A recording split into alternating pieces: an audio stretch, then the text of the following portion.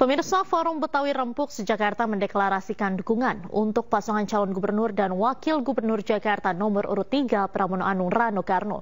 Pram Rano pun mengaku terharu dan bersyukur dan siap mewujudkan aspirasi warga Betawi jika terpilih.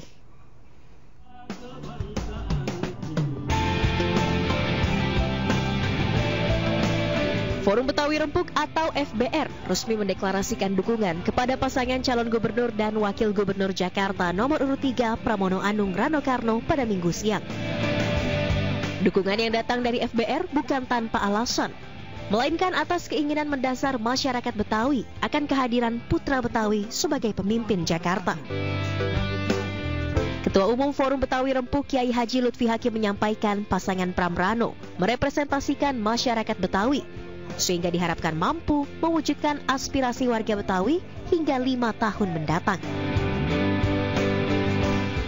Jadi hari ini saya mempercayakan itu kepada Mas Bram dan Bang Dul karena kami yakin beliau akan menang.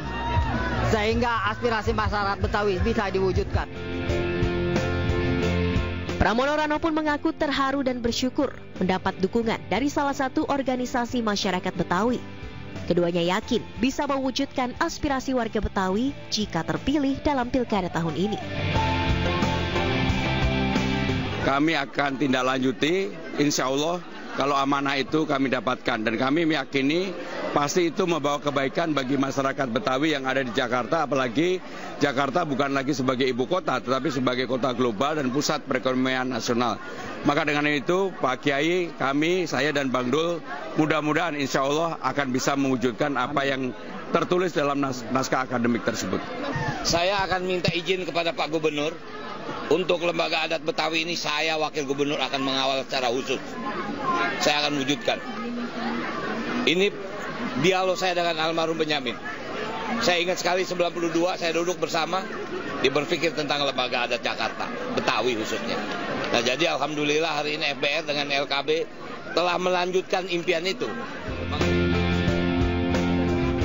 Dalam acara deklarasi ini, FBR dan Pramono Rano juga menandatangani komitmen kerjasama ketahanan budaya di Jakarta, terutama berkaitan dengan pasal 31 Undang-Undang Nomor 2 Tahun 2024 tentang daerah khusus Jakarta. Dari Jakarta, Amrina Rida dan Di Bernardi, iNews melaporkan.